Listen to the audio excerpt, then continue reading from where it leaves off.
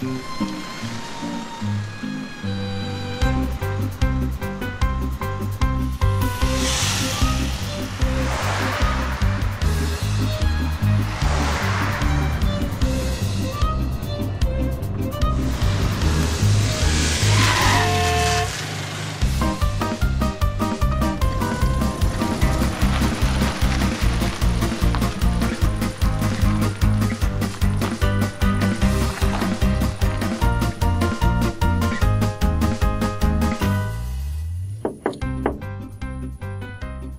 Y a quelqu'un?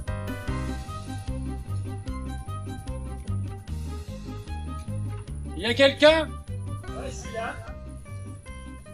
Monsieur Anatole Després? Ah bah, si c'est pour un placement d'assurance, vous perdez votre temps, j'ai tout ce qu'il faut. Non, non. Et si c'est pour un placement d'argent, vous perdez votre temps aussi, je suis fauché. Bonne nouvelle, vous allez être riche. Oui, oh, bah, si c'est pour un de ces jeux à la con où j'ai gagné des tas de millions que je ne recevrai jamais, ça m'intéresse pas non plus. Monsieur, je me présente, Jean Souris, clerc de notaire chez Maître Garand. Je vous apporte une convocation pour l'ouverture du testament de votre tante.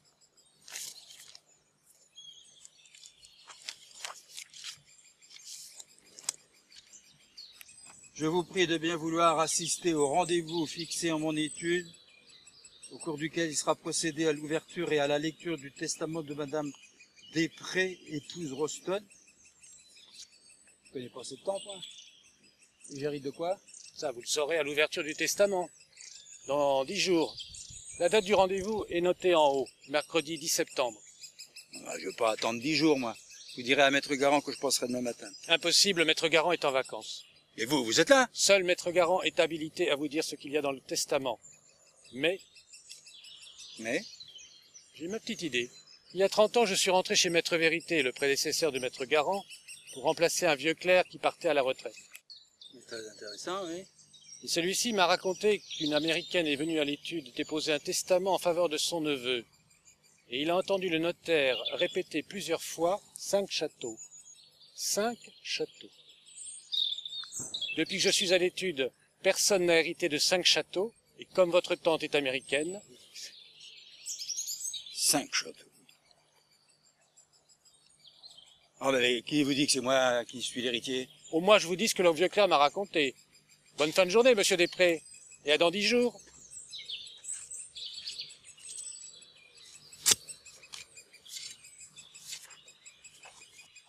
Cinq châteaux.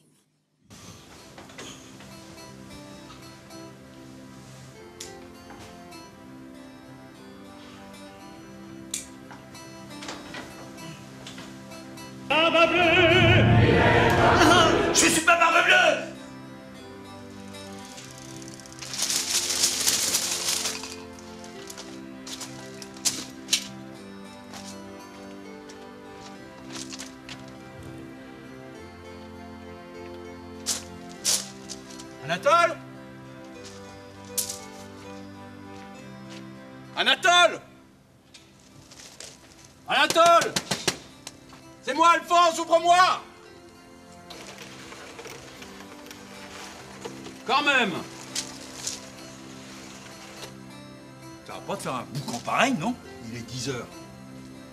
Vas bien T'as pas l'air dans ton assiette, toi. Allez, ouvre-moi. T'as investi? Oui, et avec mon panier neuf, je philosophe. tu veux du café? Ah, c'est pas de refus.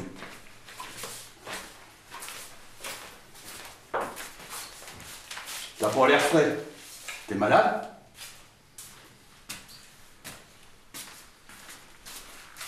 J'ai pas dormi de la nuit. T'as fait la fête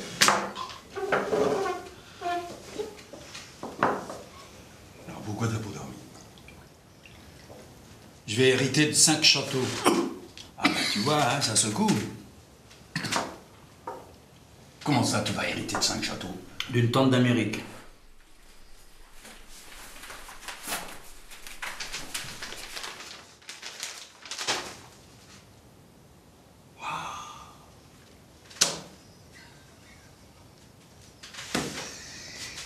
Mon copain, Anatole Després, simple roturier, va s'élever au rang de châtelain. Et attention, mesdames et messieurs, pas simple châtelain, Monseigneur Anatole Després sera un multi-châtelain.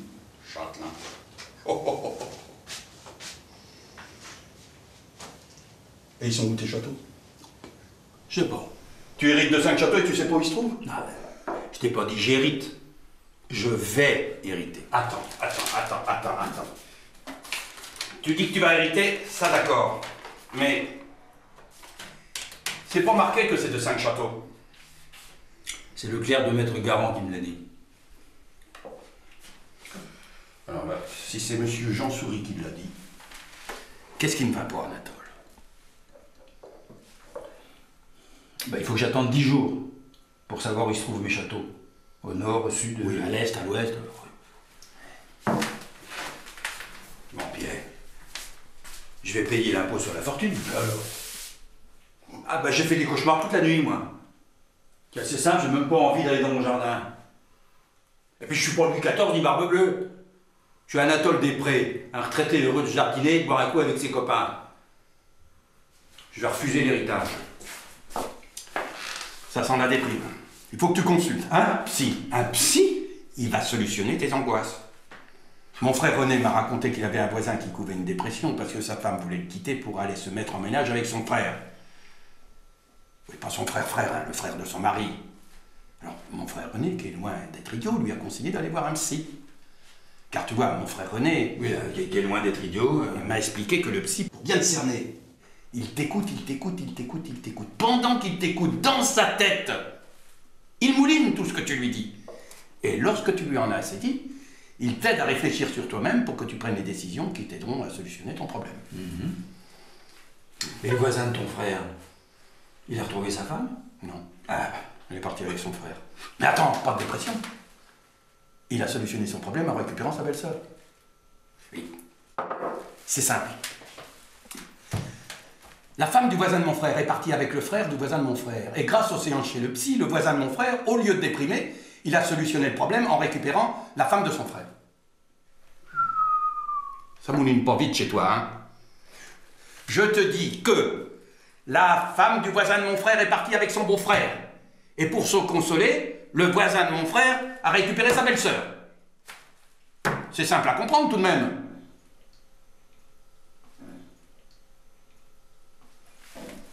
Je comprends surtout que le voisin de ton frère, il habite dans un quartier de famille tuyau de poil. Je ne vois pas le rapport avec mon héritage. Tu mets vraiment de la mauvaise volonté, Anatole. hein. Tu ne dors plus, tu manges plus, tu jardines plus. Tiens, t'as même oublié de nous servir l'agneau avec le café. Tout ça parce que monsieur va devenir châtelain. Alors, parfait grigou. Parfait, Grigou. C'est le nom du psy que le voisin de mon frère est allé voir. D'abord, il va t'écouter. Ah oui, c'est ça, il t'écoute, il mouline, il mouline, hein. et après? Tu vas comprendre que tu peux assumer ce qui t'arrive. Tu vas prendre conscience qu'il y a des choses plus graves dans la vie, et patati et patata. Tu dors, tu manges, tu jardines, la vie est belle. Et les dix jours passent sans que tu t'en aperçois. Et de toute façon, à part 70 euros, qu'est-ce que tu ris 70 euros? Ouais. Bon bah je vais me laver. Pour le psy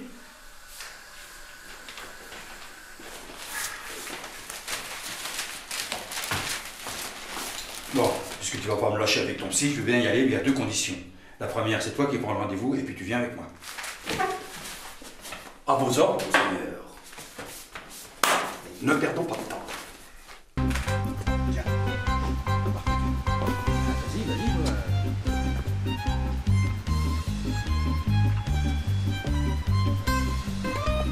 Anatole Bonjour messieurs. Monsieur Després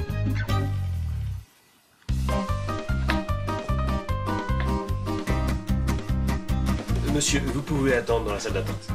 Monsieur désire que je l'accompagne.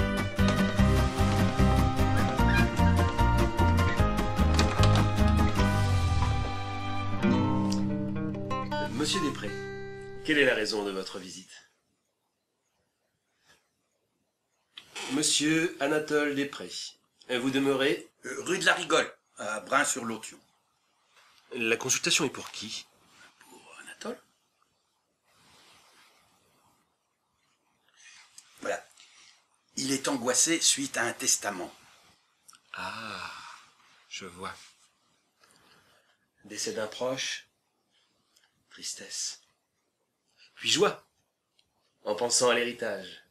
Mais l'héritage va au gardien du toutou de mémé. Alors déception. Révolte, accompagnée d'une idée de vengeance. Vous n'y êtes pas.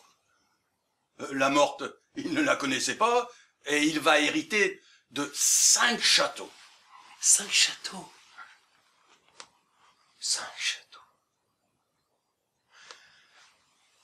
Monsieur Després, vous avez une femme, des enfants, des frères, des sœurs, des parents. Il, il est fils unique. Euh, ses parents sont morts, sa femme aussi, et, et il est stérile. Bien. Bien. Mais pourquoi venez-vous me voir? Eh bien voilà, monsieur le. C'est que, suite à ce testament, il est angoissé alors. Et il faut qu'il attende dix jours avant de savoir où et comment sont ses châteaux. Alors, euh, il ne dort plus, ne mange plus, ne jardine plus. Et tenez, ce matin, il a même oublié de nous servir l'agneau dans le café. Ça, Il est vrai que cinq châteaux, pour un seul homme, ça fait beaucoup. Mais il y a des solutions.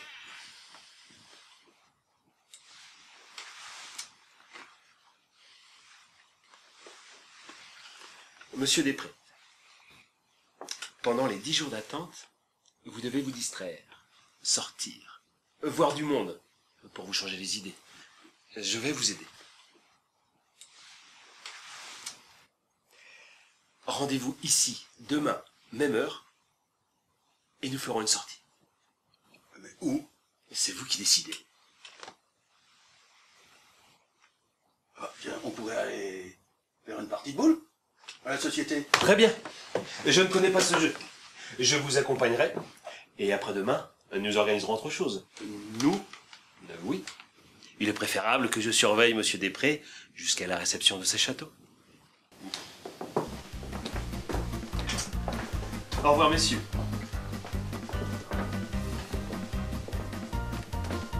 On ne sait jamais.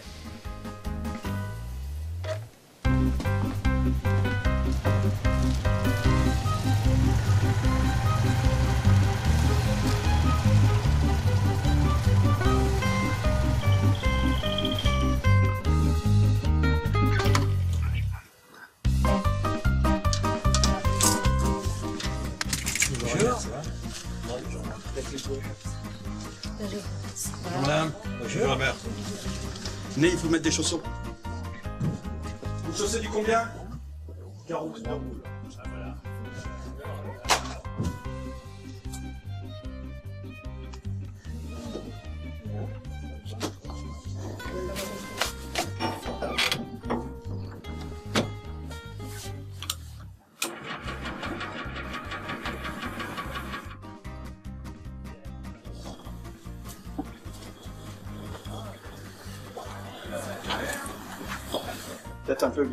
Il faut à peu près vous visiez le bout de la ligne blanche, vous voyez Et sans laisser tomber la boule.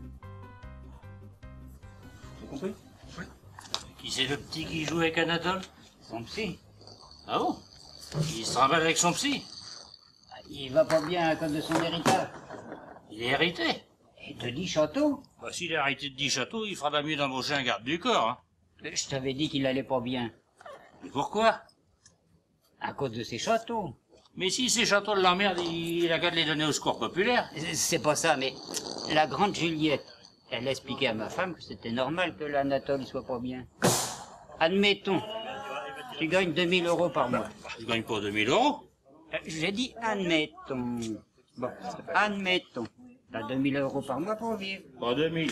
Et que tu gagnes 5 millions au loto. T'es super content. Et ta tête, elle peut pas emmagasiner tous les millions que tu gagnes. Alors là-haut, ça chauffe. Tu fais rien, ça éclate. Alors le Anatole, tout instruit qu'il est, il est pas capable de faire rentrer tous ses châteaux dans sa petite tête. C'est pas dix châteaux. C'est cinq châteaux qu'il a hérités, Anatole. Oui. Puis toi, Albert, faudrait dire à ta femme qu'elle dise à la grande Juliette qu'elle arrête ses conneries. Et qu'elle surveille bien son mari. Le bruit court que sa femme est court après le mari de la grande Juliette. Alors dans sa petite tête, ça va pas bien. Ça va mieux d'aller voir le psy d'Anatole. Oh, tu veux mon avis Si le psy, il soigne aussi bien qu'il joue au boule, ben il est pas prêt d'aller bien, le bel Anatole.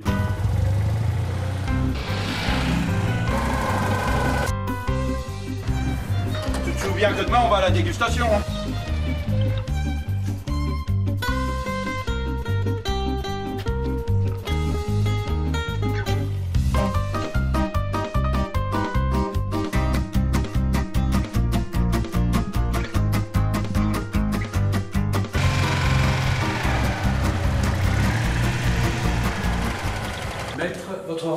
Monsieur Després. Ah,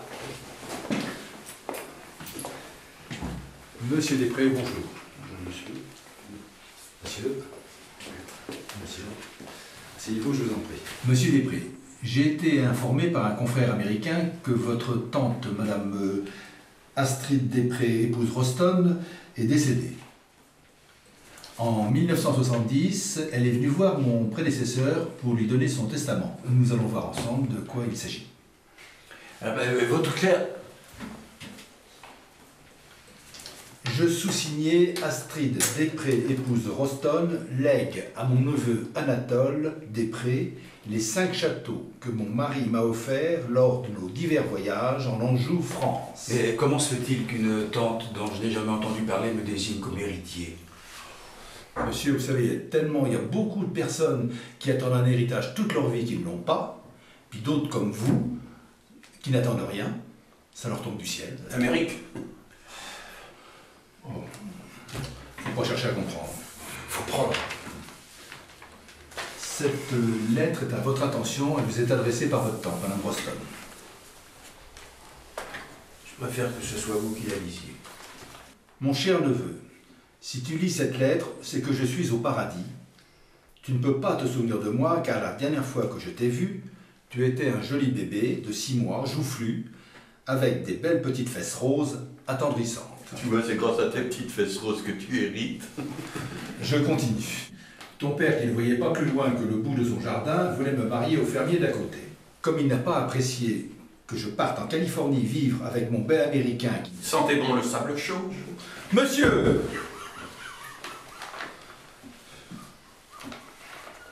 Mon bel américain... Il y avait des châteaux. Arrêtez d'interrompre continuellement la lecture. Ça suffit, ça suffit, on va pas y passer la journée Comme euh, votre tante et son bel américain, ce qui sentait bon le sable chaud. voilà, vous me faites dire des bêtises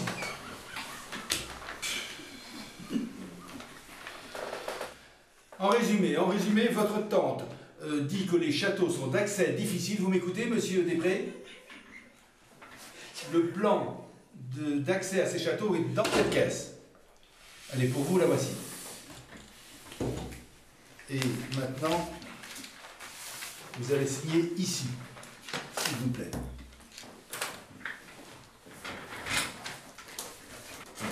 Voilà, messieurs. Au revoir, messieurs. Un peu nerveux le notaire.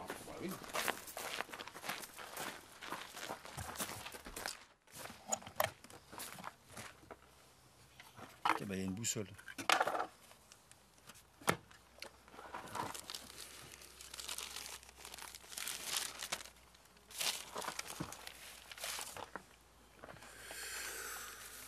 Tu y comprends quelque chose? Là, il faut prendre euh, la route forestière de Brissac. Il faut trouver le chemin à gauche. Il faut trouver l'entrée. Et ben, puis après, on verra. On a passé l'âge de jouer aux jeux de piste. Vous n'êtes pas obligé de venir. On ne sait jamais. Ouais. Bon, c'est trop tard. Rendez-vous demain matin à 9h. J'y serai.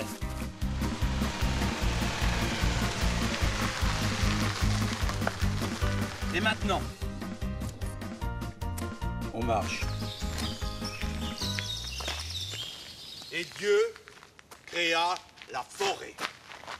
Sensuelle et désinvolte, telle une jolie fille, au corps nu caressé par le soleil, elle s'offre à nous. Oh, c'est beau C'est. Ils sont complètement fêlés.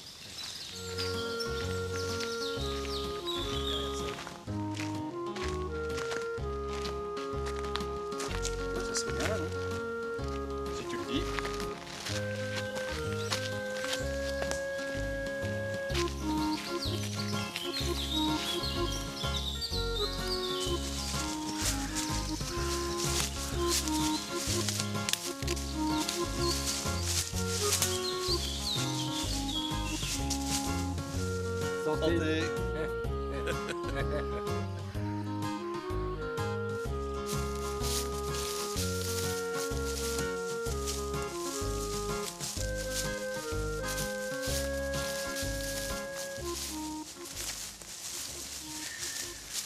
Ah, je pense que. Je pense qu'on est là. Tu penses ou t'en es certain? Fais confiance au Boy Scout que je n'ai jamais été.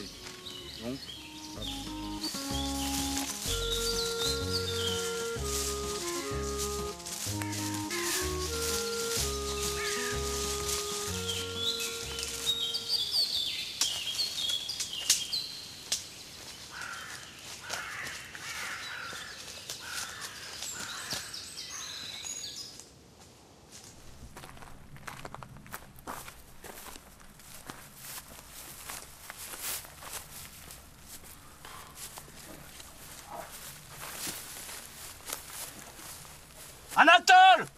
Anatole! Il y a un souterrain! Et Anatole! Anatole! Il y a une caisse à ton nom! Dedans, il y a peut-être un, un deuxième plan